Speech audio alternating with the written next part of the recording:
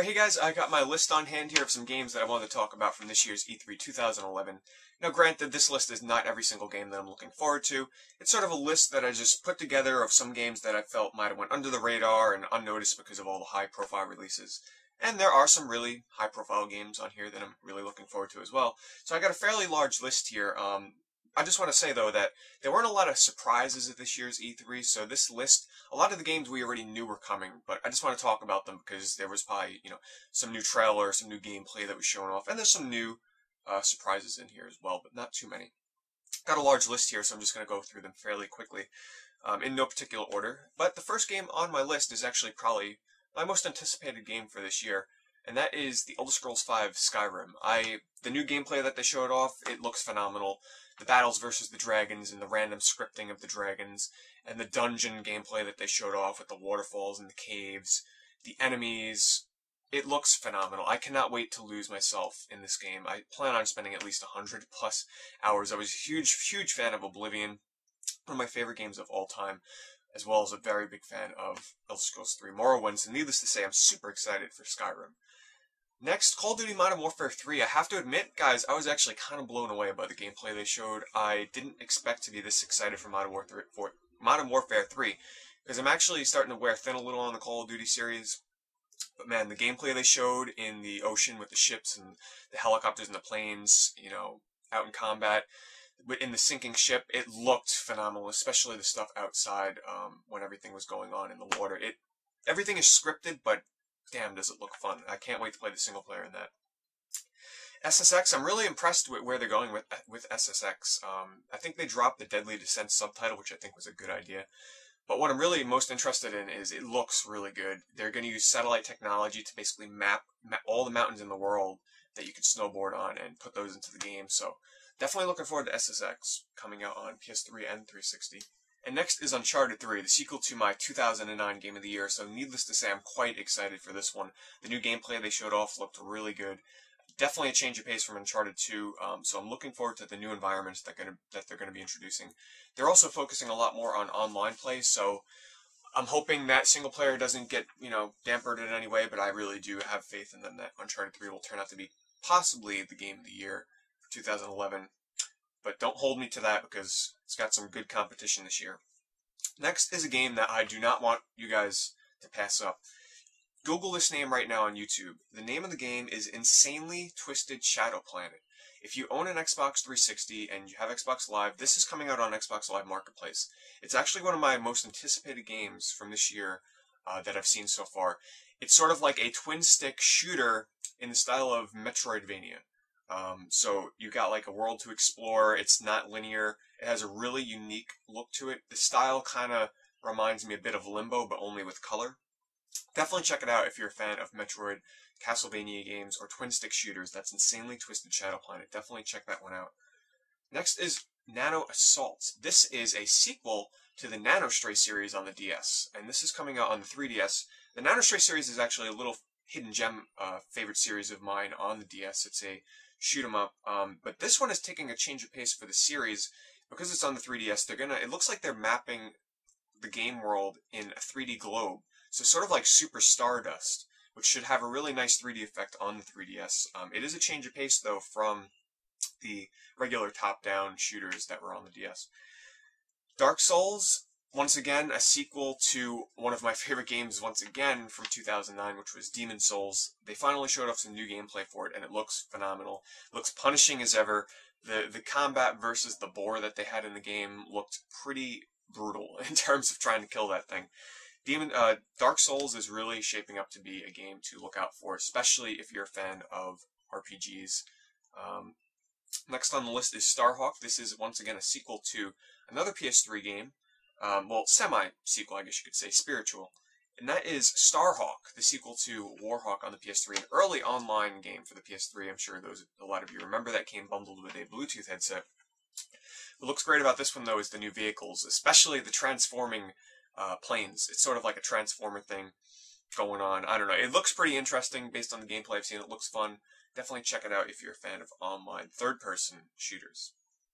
Tomb Raider, the gameplay they showed off for Tomb Raider it looked really good. It is very scripted. It seems um, a little handholdy. I'm not really a fan of games that sort of outline things for you. So while the gameplay looked really, really awesome and it, it was very scripted in terms of, you know, there was a lot of quick button stuff going on, but they added an element where you can highlight things in the game world that you have to use to advance through it. So it'll highlight boxes and torches and lifts that you have to use.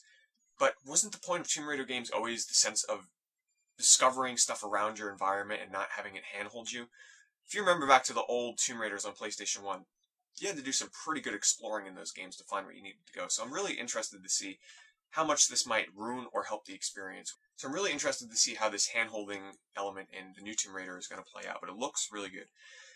Next is From Dust. This is a new game from the creator of Out of This World, a classic game, and this is his new creation. It's a god simulator game where you're really manipulating the environments. So it's sort of like a puzzle game mixed with simulator and think like black and white. It's a really interesting concept where you can kind of morph the landscape to um, help and move along the civilization on the land that you're trying to help out. Looks really good. Definitely interested in seeing how this comes out. This is coming out on the Play PlayStation Network and the PC. Uh, next is Rayman Origins, which Ubisoft opened in their press conference with a long gameplay demo. And there were so many people complaining, like, Ubisoft, get this 10 minute demo of Rayman's off. And I was like, hell, bring on more Rayman, because what I saw of Rayman Origins was actually one of the best games I saw at the show. Looks phenomenal, looks like a very solid platformer, very fast paced. The online, or I shouldn't say the online, but the multiplayer in it looks super, super fun. Uh, it looks challenging as well, but this is definitely one of the best looking platformers I've seen in a very long time. Uh, Kirby Wii, they surprisingly didn't show this off at the Nintendo press conference, but there is a new Kirby game coming out. We did know about this, but they showed us some new gameplay. It's sort of in the vein of New Super Mario Bros. Wii, only in Kirby style. It allows up, allows up to four players co-op, and it does have, of course, the single-player campaign, look, which looks phenomenal. This this is the Kirby game that should have. No offense to Epic Yarn, it was an excellent game, but this is the Kirby game that we've all been waiting for. This is true Kirby with power-ups, it's classic Kirby. Kirby's Epic Yarn originally did not start as a Kirby game. This built from the ground up as Kirby. I can't wait for it. Uh, Rhythm Heaven. This is one of my most anticipated titles coming out for the Wii. I'm a huge, huge fan of Rhythm Heaven on the DS. It's one of the most fun games I've played on that system. So the fact that a sequel is coming out on the Wii, I'm super excited. If you're not familiar with the Rhythm Heaven series, it originated in Japan on the Game Boy Advance, made its way to the DS, and we got the port of the DS version. It's a really fun rhythm game, uh, music rhythm game with very challenging uh, beats that are very it's not like overly complex songs. It's just a very simple beat for the most part to the songs, and you're sliding and you're tapping and all kinds of stuff with the touchpad to the beats of the song. So I'm really, really excited to play it on the Wii. Kirby Mass Attack on the DS. This is a new reveal as well, I believe. Kind of in the vein of Kirby's Canvas Curse, it's taken a bit of a twist to the Kirby series in that you control a group of Kirby's with the touchscreen. So it's not going to be a classic, you know, platformer Kirby game. It's going to be touchscreen based, and you control a ton of Kirby's at once. It, lo- it looks really hectic and it looks really different. It looks really fun as well. So definitely looking forward to that a nice surprise uh, at this year's E3 from Nintendo, and that is the announcement of Luigi's Mansion 2. In the back of my mind, I was like, man, wouldn't it be cool if there was a sequel to Luigi's Mansion? I never thought Nintendo would really do it because, I don't know, there was just something about Luigi's Mansion that I never thought they'd really bring the series back, but they did. I'm a huge, huge fan of Luigi's Mansion on the, on the GameCube. Um, possibly, you know, that would probably be my top five games without a doubt on the GameCube. So, I'm, needless to say, I'm really excited for the 3DS version. My only complaint though is it seems to be a bit faster paced, a little arcadey. It doesn't quite match the style of the original to me from what I've seen in the gameplay. It looks it looks different. There's something different about it. There seems to be more ghosts that are I don't know, not quite hidden as well, I should say. I don't know. It's hard for me to say based on the trailer they showed, but I'm still definitely looking forward to it. Next is Mario Kart 3D. We all knew it was coming, but it looks really good. Um, I watched the 3D trailer. By the way, all these 3DS games that Nintendo showed off, if you have a 3DS, you can download 3D trailers on your 3DS and check them out in 3D, which is an awesome idea by Nintendo to see these games in 3D before you buy them, and they all look phenomenal. Mario Kart 3D, you can drive underwater, you can hand glide, you know, you can glide in the air with a, a glider. Who the heck cares? It's Mario Kart. Everybody's going to buy it. I'm definitely looking forward to it. Kid Icarus Uprising. I'm mentioning this again because they introduced multiplayer. Now, whether the multiplayer is online or local, I'm not quite sure on that. Needless to say, though, let's hope it's online. Whoever thought that multiplayer would come to this Kid Icarus game? It's shaping up to be a really great looking game, though. It really has evolved into sort of like a sin and punishment style game, though, um, which is definitely not a bad thing. So I, I don't know. I'm just definitely looking forward to trying out the multiplayer. Hopefully, it's online. Nintendo, do the right thing, please. Online. Welcome to 2011. All right, next is Star Fox 3D. Showed off some new gameplay. We all know what to expect from this game because we've. I'm hoping we've all played it before if we have an N64. Um, I don't know if they're introducing online with this either, but the multiplayer is going to be intact. So this time they're going to have uh, a video of your face so you can see your opponent's faces as you're playing against them. In my opinion, though, I don't think something like that would make it online because I'm sure Nintendo's kind of scared with what might show up on those videos. Really excited for Star Fox 3D, however. Mario, Super Mario 3D for the 3DS. I'm kind of half and half on this one, guys. I was hoping for a Super Mario 64 kind of game. What I got was a blend of 3D and 2D, which isn't a bad thing. It, it's still not what I want from a new 3D Mario game, though. It seems a little slower paced, though, from what I've seen. I'm still really excited for it, don't get me wrong, but I'm still holding out that one of these days, maybe on the Wii U, we will see sort of like an open world or Super Mario 64 style 3D Mario game again. Please. However, getting back to the game, Super Mario 3D, uh, what they showed off looked pretty impressive. The Tanuki suit is making a return. It seems to be going back to the classic style of Super Mario Brothers. You know, instead of collecting stars, you seem to be just getting to the end of the level and getting on top of the flagpole. So definitely interested to see where this one goes, but I'm still holding out, guys. Super Mario 64, the sequel, maybe one day. Uh, Zone of the Enders HD. This was announced at Konami's pre-E3 briefing. I'm really, I'm super excited for this because I'm a huge fan of the original Zone of the Enders. I think I was one of the few people that bought that game for Zone of the Enders instead of the Metal Gear Solid 2 demo.